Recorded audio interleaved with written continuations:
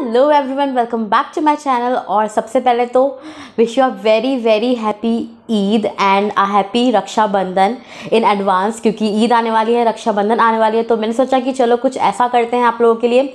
आ, कोई ऐसी वीडियो लाते हैं जिससे कि आप एक अपनी ईद या रक्षाबंधन जिस जो भी फेस्टिवल आप सेलिब्रेट करें उसमें आप एकदम हेल्दी ग्लोई स्किन हो और आपके हेयर्स बिल्कुल सिल्की और शाइनी हो। तो आज मैं लेके आई हूँ कुछ ऐसा ही पैम्पर रूटीन स्किन केयर और हेयर केयर दोनों के लिए ताकि आप अपने फेस्टिवल को बहुत अच्छे से इंजॉय कर पाएँ। तो चलिए, फटाफट सबसे पहले मैं आपको बताती हूँ फेस पैक जो कि बहुत ही ज़्यादा नेचुरल इंग्रेडिएंट से बनाया है। कुछ भी आपको बाहर से लेने की ज़रूरत नहीं है। जो भी चीज़ें मैंने यूज़ की हैं, वो सारी आपको मिल जाएँगी आपके घर में ही और बहुत ही ईजी है, लेकिन जितना ईजी है, उससे कहीं ज़्यादा इफ़ेक्टिव भी है। तो डेफिनेटली ट्राई ज़रूर कीजिएगा। फटाफट से पहले आप रेसिपी देख लो एंड देन मैं आपको अप्लाई करके दिखाऊँगी। सो लेट्स गेट स्टार्टेड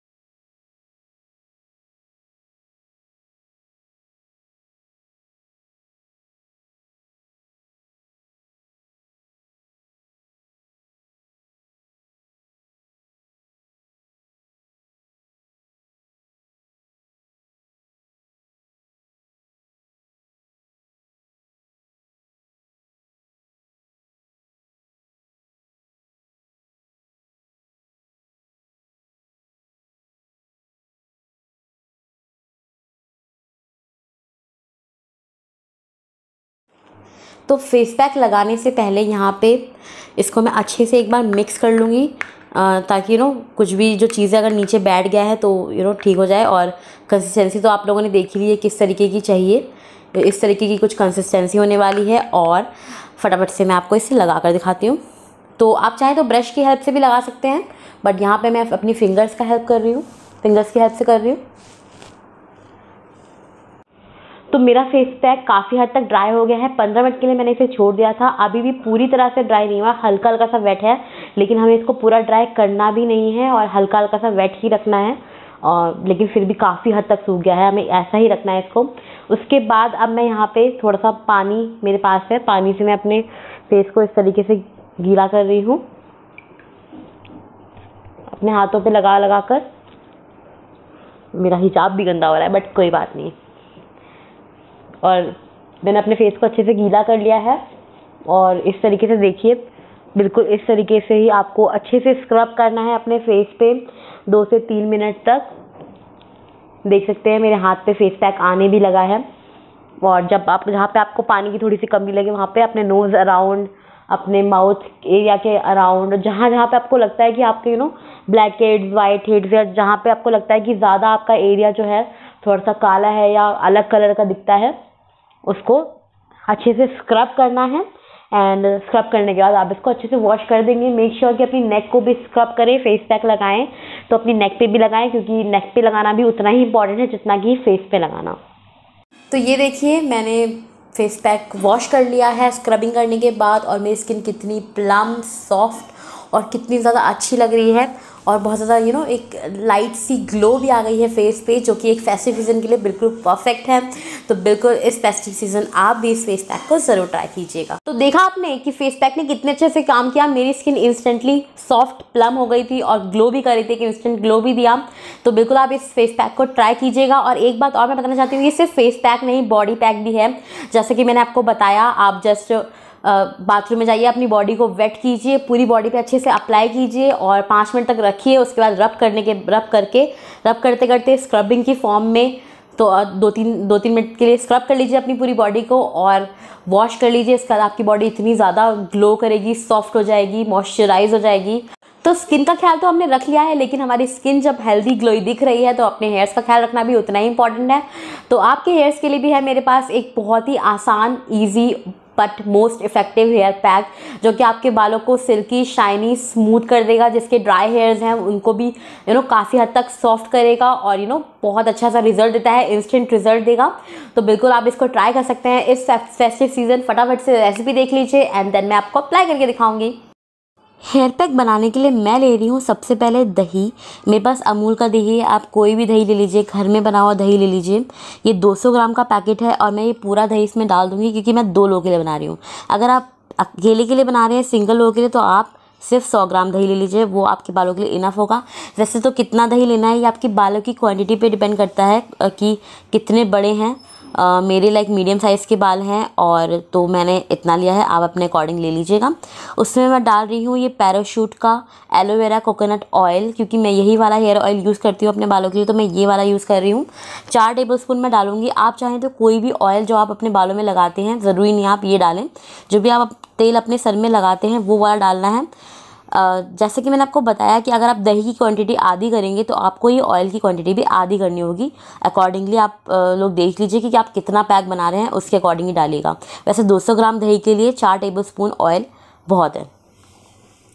तो दही, जैसे कि आपको पता है कि इसमें एंटी बैक्टीरियल प्रॉपर्टीज़ होती हैं तो हमारे बालों की यू नो डेंड्रफ को कम करने में हेल्प करता है ड्राइनेस को कम करने में हेल्प करता है, बालों को सॉफ्ट बना देता है, बहुत अच्छा है। दही ऑल ओवर खाने के लिए भी अच्छा होता है as well as beauty benefits के लिए भी उतना ही अच्छा है। देन यहाँ पर मैंने लिया है एलोवेरा जेल और आप चाहें तो फ्लैश फ्रेश एलोवेरा का पल्प भी ले सकते हैं। अगर आपके घर में या आसपास कहीं एलोवेरा का पौधा है तो आप उसमें से भी निकाल के ले सकते हैं। ये भी मैंने चार टेबल स्पून लिया है।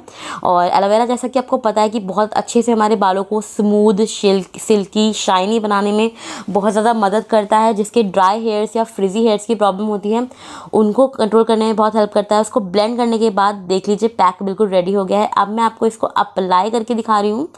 अपने, पहले आप अपने आगे के बालों में अप्लाई करेंगे। जड़ से अप्लाई करना है। बिल्कुल पहले जड़ों में लगाइएगा, उसके बाद पूरे बालों में लगाएँगे। मैं जैसे कि आपको बता रही हूँ, जैसे इस तरीके से मांग निकाल निकाल कर थोड़ा थोड़ा बालों का पार्टीशन करके अपने हाथों से लगाइए। आप चाहें तो ब्रश की हेल्प भी ले सकते हैं, लेकिन मैं हाथों से ही कंफर्टेबल रहती हूँ।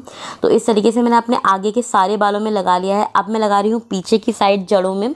तो पीछे की साइड जड़ों में इस तरीके से, जैसे कि आप, मैंने आगे बालों में लगाया था थोड़ा सा यू नो बाल थोड़े थोड़े आगे लेकर और बीच में पार्टीशन कर करके इस तरीके से अप्लाई करना है। ऐसे ही आप अपने पूरे सर में अप्लाई कर लीजिए। थोड़ा सा टाइम लगेगा इस तरीके से अप्लाई करने में, लेकिन जड़ों में ही अगर पहुँचेगा तभी अच्छे से यूज़ होगा तभी अच्छे से यू नो फ़ायदा देगा हमारे अगर क्योंकि मेन जड़ें ही होती हैं अगर जड़ों में ही हम अच्छे से अप्लाई नहीं करेंगे तो फिर आ, कोई भी हेयर पैक या हेयर मास्क लाने का कोई फ़ायदा नहीं है। तो इस तरीके से हमने अपनी जड़ों में लगा लिया है।